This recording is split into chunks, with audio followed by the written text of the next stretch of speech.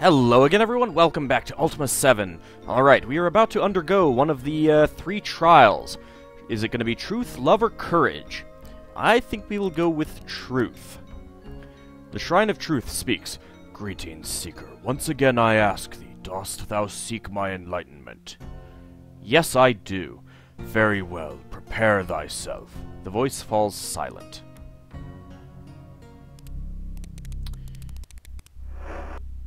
Alright, well, um... I suppose I could uh, try translating these. Where am I? Uh, let's see. I've got the... Uh, that is another one of the nice things about Exult is that there's an automatic translate thing in that in it because there's a translate spell in uh, um, uh, Ultima 7 Part 2. But uh, let's see. Um...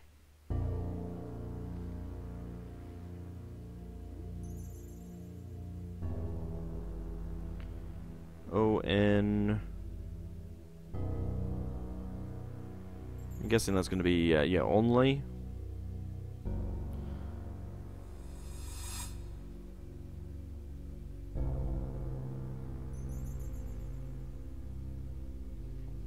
I wish I remember. I, I wish I could remember these again.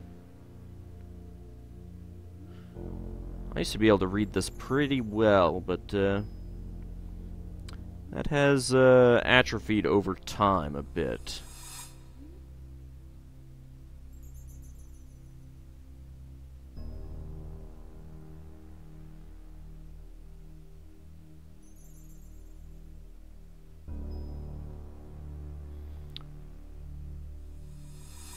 Only appearances.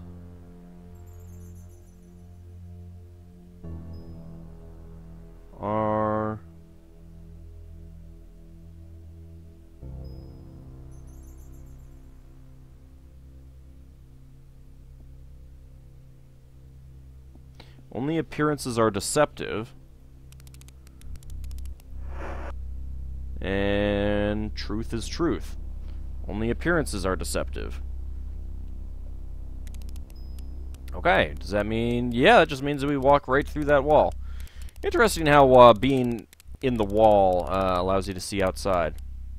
Uh, incidentally, this is uh, this right here is the uh, um, the path that we came in. This is one of those towers that we saw in the uh, um, entrance. Let's go ahead and turn that on for no reason. Alright, so I believe we do not want to walk through the uh, the X there. Oh my. Trophy. That's a head. It's a human head. That's a daemon head. Or not a daemon head, a, uh, a gargoyle head. And a troll head. Uh, you know what? What happens if we, uh, if we do that?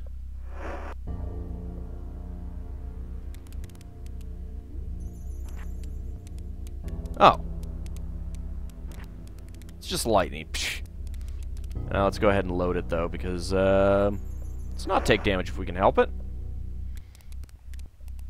Alright, so, uh, I remember back in the day, so there was this hood here. Um,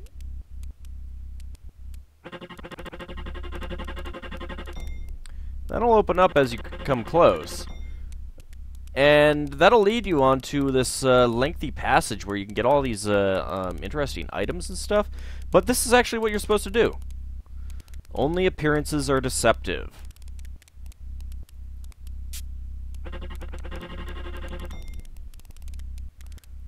Lock it.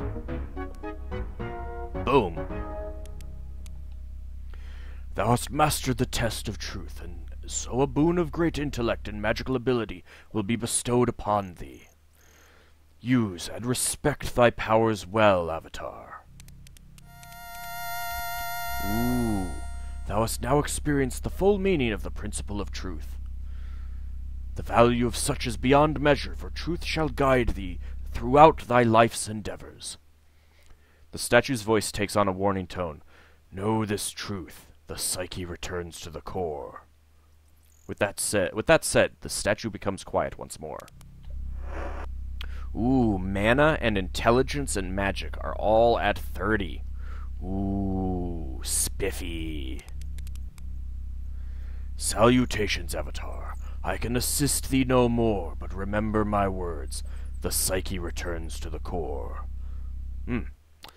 Sounds bad. Sounds bad.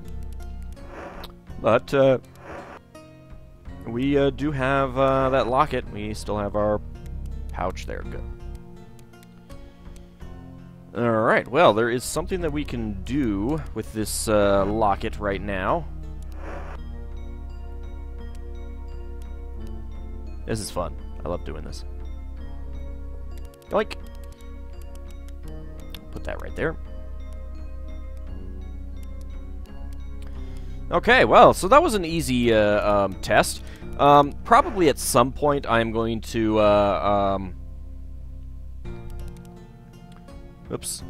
I don't want to do that. Uh, I wanted that one. Um, modify NPC.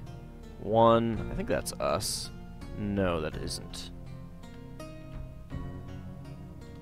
Are we zero?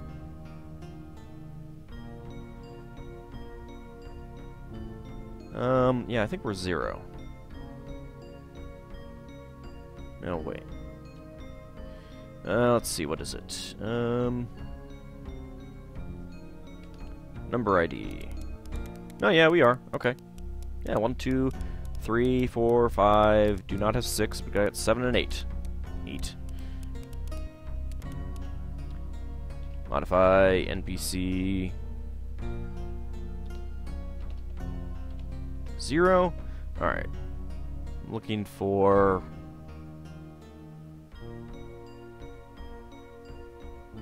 Where is it? Oh, NPC status? Yes, that's it.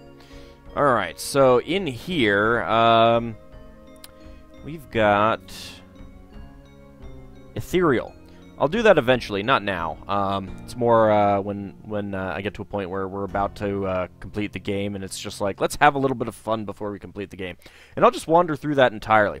There is this enormous maze on this island. That's all the uh, um, test of truth, and you you don't have to do it at all. That's it's terrible.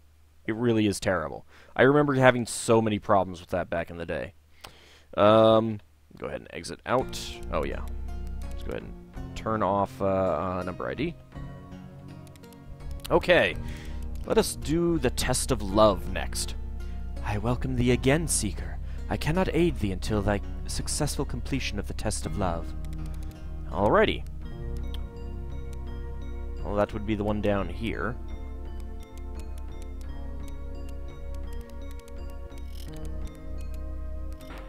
You can see this little, uh, looks like a button right there. That's a surefire sign that uh, there's a secret door there. Might have pointed that out earlier. The Test of Love. Well, let's go in. Huh. There is a well there, uh, which I believe... Oh. That was fun. Thank you for that, uh, Earthquake. Let's go ahead and take the bucket. There's a hole in my bucket make sure that... It... Wait a second. Who picked up Who picked up the bucket? Who got the bucket? Bucket? There we go. Uh, I am going to need this hammer at some point, so I picked that up.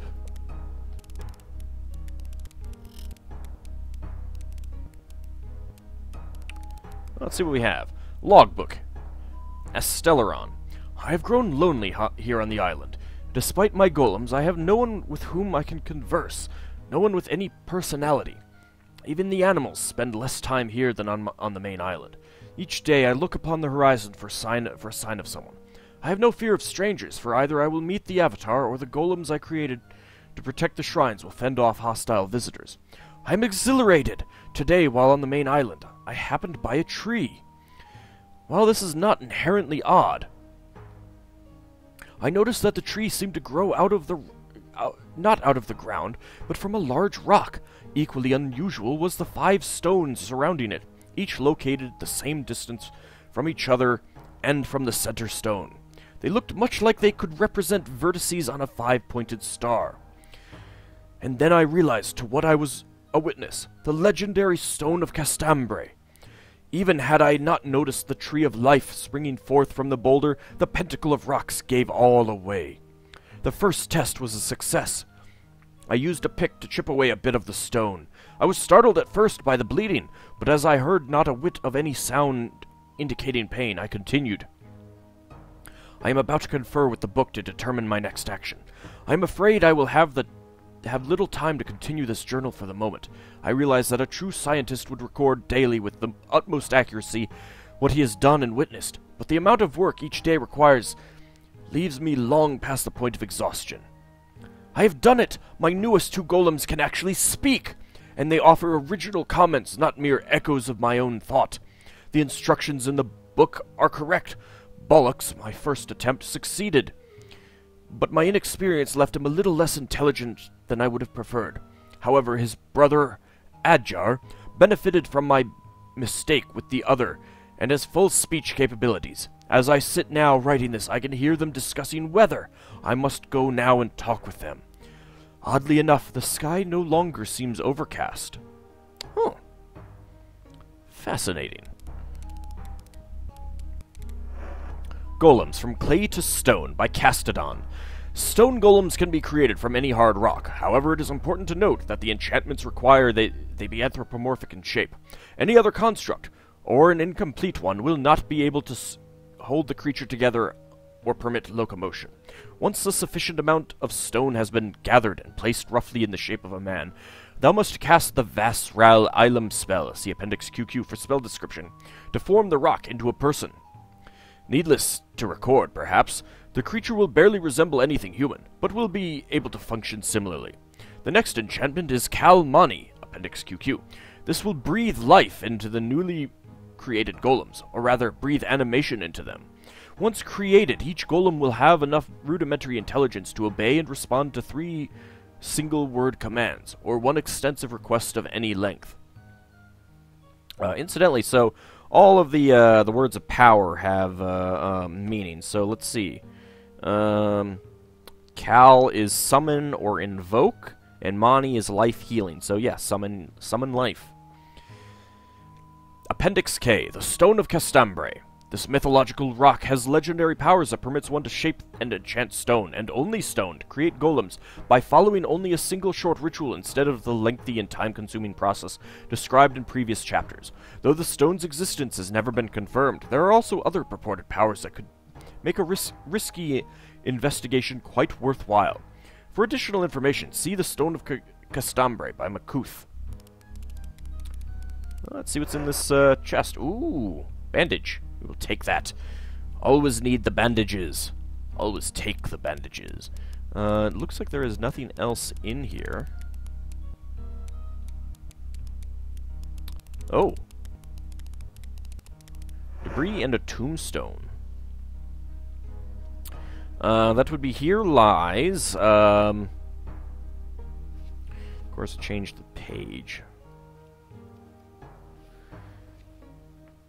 Uh, here lies...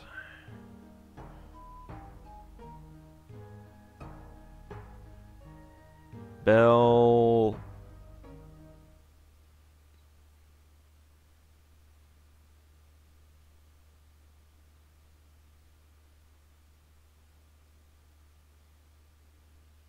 Belovum?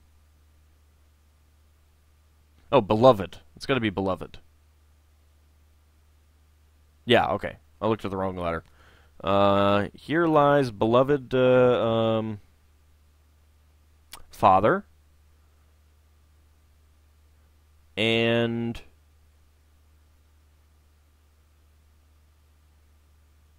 master. Yeah, here lies here lies beloved father and master. Oh, interesting. Well, that's probably the guy who wrote the uh, the book there. We got a door over here. Let's see what we have back here. Stuff to loot! No. Stuff to loot? No. Stuff to loot? No. Alright, well, um, those can be looted. Um...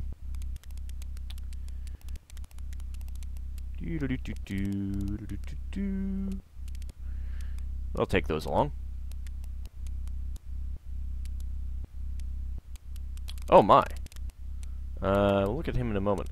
It looks like we could actually get our uh, um, magic carpet in here. What's up? Hey, what's up? You don't mind me uh, walking over the this uh, broken golem here, do you? It does say body. The stone statue stands with a lowered head. Despite its granite features, a downcast look is apparent on its face. Surprisingly, it turns to speak with you. Why, by the stars, I believe it is a creature. Help him? Oh no, it's Tor Johnson! It asks carefully, pointing to the fallen statue lying beside it. Uh. Name? My master named me Bollux. Job? I am a guardian of the shrines of the principles. Um, master? Astelleron made us. He is our master. Guardian. We were created to protect the shrines of the principles. Only the Avatar should use their power. Adjhar and I were keeping watch when the wall fell on Adjhar, and the loud noise came. I carried him here so that I could restore him, but I do not know how. Maid? I know nothing about the process, but Astelleron once told me he used something called magic to give us life and animation. The golem pauses, obviously conscious of his next thought. He did not like his solitude. He said he was lonely. Uh, tell me about magic. I do not know what it is, but there are many books in his house. Perhaps there is something there about magic. Uh, lonely? Astelleron said it was how a person feels when no one is around. He told us how happy he felt after we were born. He called me a son. Uh, what can you tell me about the books? I have a book here that Adjhar said told about our creation. This might help bring Adjhar back. He hands to you a very old tome. It is evident the book has seen much use, for the leather covering it's wearing, uh, for the leather leather covering is wearing away to reveal the wood beneath, and the pages are quite dog-eared. I already put rocks down, he adds, just like the book said to. Uh, help? My companion Adjhar, he is dying. Thou must help repair him. Please, I beg thee. Uh, creature? We are called stone golems because we are made out of stone and rock. Transmute stone to rock. Great spell there. Great spell. Adjhar. He is my brother and my friend. We protected the shrines together. We cannot let him stay like that. Help me. Assist him. Uh, stone? We were fashioned out of the rock from the quarry on this small island. Alright, goodbye. Goodbye. Alrighty, so we have a book. I stole my bag in there. Good. Alright, looks like that I have fixed that problem. The Stone of Castambre by Makuth. Legendary rock? Perhaps. Powerful relic? Definitely. The Stone of Castambre, named for the mage who is rumored to have enchanted and placed it, is said to be located on the island Isle of Fire, also the location of the sh shrines of the three principles. Of course, since knowledge of the isle has long since disappeared, knowledge of the infamous stone is equally mysterious. However, through research and study of Castambre's diary, I have brought to light a few clues to the stone's whereabouts. The major purpose of the stone's power is to animate inanimate objects, statues, golems, tools, etc. In addition, should the desired object be one already imbued with the power of conversation, the stone will enhance such powers, giving the object, or rather creature, independent thought. Historians claim that it was with this stone that Castambre concocted creatures of such deep personalities that, from behind a curtain, it was impossible to differentiate between a person, person and one of his creations. But how do I capture this ability, I hear thee ask? First, assuming thou hast already discovered the Isle of Fire, no mean feat, I assure thee. Thou must then search for the Pentacle of Rocks, five boulders arranged as though they were vertices in a pentagram. In the center thou shouldst notice a sixth, sixth rock, from which grows a large healthy tree, the Tree of Life. This sixth rock is Castambre's stone. However, finding the stone is only half the battle. For now thou must perform magics beyond the abilities of normal men. With a thou must. Ah, there's a the page is smudged with dirt here. I cannot make out this text. Why were you reading it? Once the heart has been once the heart has been placed within the chest of the creature, the ritual may begin. First, using perhaps the same pick, thou must strike the tree hard enough to draw blood. Blood from a tree, questions thee? Ay, I say, for the tree is one of life and energy, collected from the nutrients of the stone, and bleed it does. Some say thou wilt be able to hear the shrieks of pain from Castambre's stone. But that rumor is waning. Thou wilt need enough of the tree's life force to fill a bucket. After the blood has been properly contained, it must be spilled in five spots about the body of the stone creature, as if the creature were Castambre's stone, and the puddles of blood the five rocks of the pentacle. In fact, it is necessary to set down five such small rocks to make the locate to mark the location which the blood must be spilled. Then must thou cast Vas Flam Uus, see detachable page, at the end of the volume, setting fire to each of the puddles of blood. Uh, let's actually take a quick look at that. It's probably it's Great Flame something or other. I know that much. Uh, Us is raise up. So, raise up Great Flame or something? I don't know. Uh, let's see. Following that, following that must be chanted the sacred words gleaned from Castambre's journals, also on detachable page. Now that the creature is enchanted, of course, it will become necessary to instruct it, much as one educates a child. However, Stone Golem will learn much more quickly. Why, a page has fallen out of the book! Hey, talk about a detachable page. Uh, let's go ahead and read that. Vas Flam Uus. This scroll will permit thee to perform the ritual necessary to either create or reconstruct stone creatures and instill within them the power of thought. First, gather the materials discussed in the previous chapters. After thou hast performed said task, thou shouldst refer back to the scroll and begin. Blood must cover the rocks. Oh, all right. Go do that. Uh, anything up here? Oh, yes, there is. We will need the pick. The pick of the litter. And for good measure.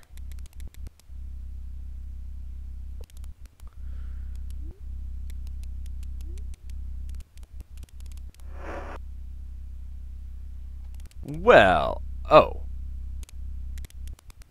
Wasn't quite what I was expecting, but okay. Forgot it did that. Aha! There it is. Hey, a deer! Oh, a deer!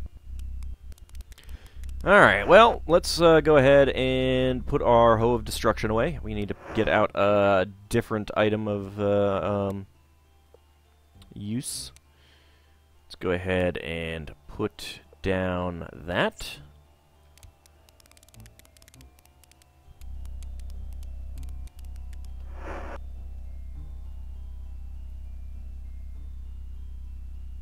It seems that a pick is not needed for that. What are you talking about? Uh, maybe I need to click it on the tree.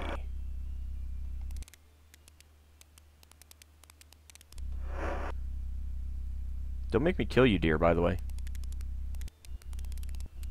Aha! Totally splash more blood on Iolo. Oh, yes, there is also...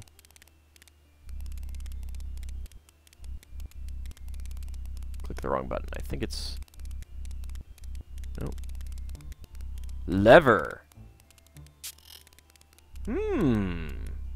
What could that be?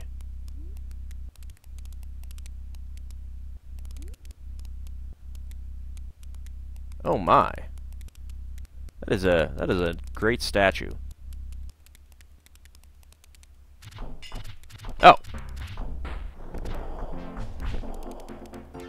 The bats were attacking me. I, I didn't notice that. I didn't realize that. Uh, how are we doing on hit points? Alright, we're okay. Alright, well, we don't really care about the main gauche. That is a golden table there. What is this? Uh, no, that's a table.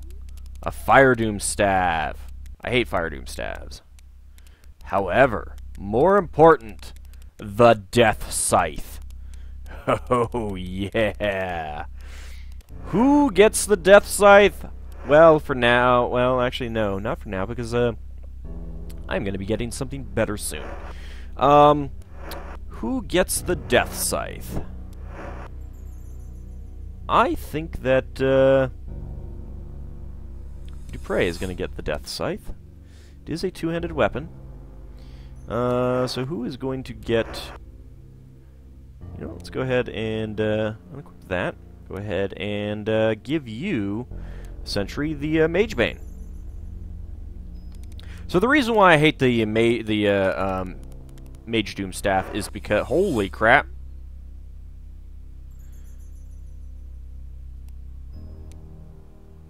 Oh, they're doubled up. Oh wow. Oh. Two. Three. Four. Five. Six. Seven eight, nine. Wow, nine glass swords. look at all of this blood. No idea what this is supposed to be, but uh, it's definitely not cheating. Yes, thank you for that. Thank you for that. It's fantastic.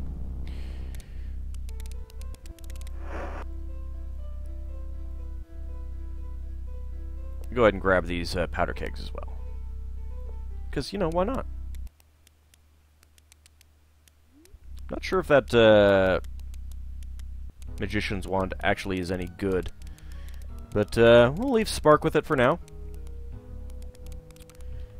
Alright, let's go ahead and uh, spill some blood.